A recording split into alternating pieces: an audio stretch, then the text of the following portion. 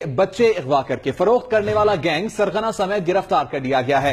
अगवाकारों के गिरोह ने चंद रोज कबल कश्मीर कॉलोनी से दो साल बच्चा अगवा करके रावलपिंडी ले गए थे। मुलजिमान इससे पहले भी कई वारदातों में मतलूब थे। डीपीओ ने प्रेस कॉन्फ्रेंस करते हुए कहा कि मुलजिमान के कब्जे से आतशी असलहा भी बरामद हुआ है।